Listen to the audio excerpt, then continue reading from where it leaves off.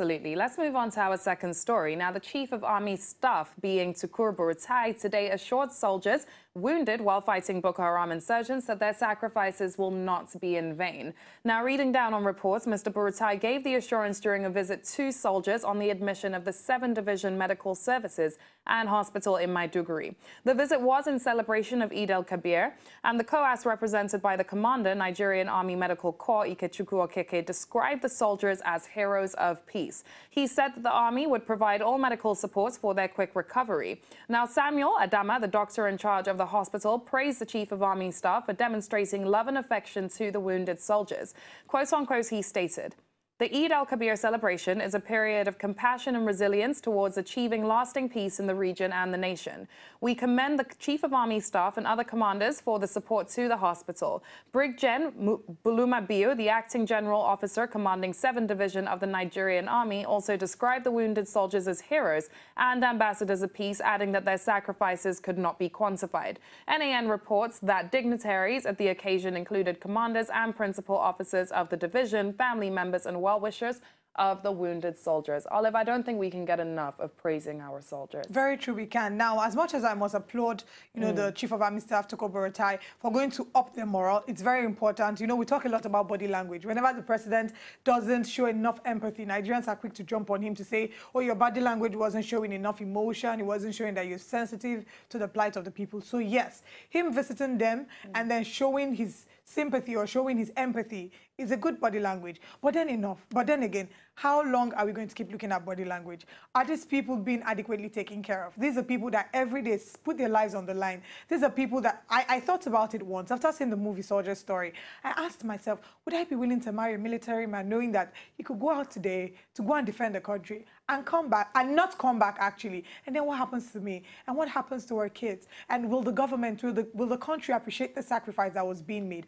I mean, I stumbled on an article that was showing the salaries of um, military personnel. And I was heartbroken to see some of them were earning as low as 58,000 naira. These are people that put their lives on the line every day. And we're not, I don't know if we've done enough. Up until today, Leila, we haven't heard any updates with regards to the Dasuki Gate. And this is something that affected them directly. Absolutely, and it's such a shame. I can't, I can't take away from that. It is such a shame. And quite frankly, the welfare of security personnel in any society that wants to function should be of the utmost priority to the government. And yes, 58,000 sounds about correct. I have friends in the Nigerian army who tell me that that is what their salary is around that. And I look at it and I question it and I think about it and I'm like, these are people who are literally physically protecting our nation doing everything they can, and it's the most selfless act to do that because that means that no matter what anybody says, you are someone who actually loves Nigeria more than you love yourself, and you're also someone who is willing to die for this country. If someone is willing to die for Nigeria, is their life or their monthly allowance only worth 58,000 naira?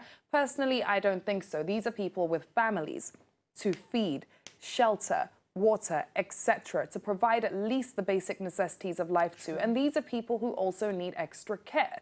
Being in the army is not easy. You need to make sure you have the proper psychosocial care, the proper psychological care, because you do get affected by certain things. And it's not an easy job. So honestly, kudos to everybody that is joining forces and coming out there to protect our nation and putting their lives on the front line and saying, you know what, I am willing to go for Nigeria because I love Nigeria more than I love myself. I can never have enough respect for you, and you deserve as much praise as possible. I mean, classic example would be when T.Y. Bello came on our show, and she explained to us how she visited the IDP camps and she visited the war-torn zones. And right after she came back to Lagos, she was she went through a bit of post-traumatic stress disorder. This is somebody that was not directly involved. Then imagine those who have to be at the war front every day, every week, fighting to prevent, prevent external aggression and to maintain the peace. And at the end of the day, they go through so much trauma. At the end of the day, do we appreciate them enough? Every year we celebrate the Armed Forces Remembrance Day on the 15th of January. We did it this year as well here in Nigeria. But the thing is, we don't even have a culture that totally accepts and understands what the Armed Forces Remembrance Day is all about. I think the most we do is, you know, we just watch on TV as the president goes to lay rest, you know. But at the end of the day, we find that if you do a comparison to the UK, everybody understands the importance of Armed Forces Remembrance Day. Everybody wears the poppy. Here in Nigeria, early this year, they literally, I was at the supermarket. Somebody was going around trying to convince people to buy. And I could see that people were not even accepting. People were not warm. Their disposition was really cold. And then on the show, I had to make sure that I bought for myself and for our other co-hosts to ensure that we did our bit to celebrate our armed forces. So kudos to them, like Leila has said.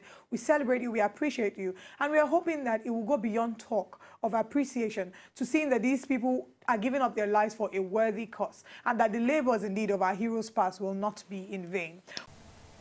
To enjoy more of these our Ogbonge videos when you just watch, press this button to subscribe on top of our YouTube page. You go love her.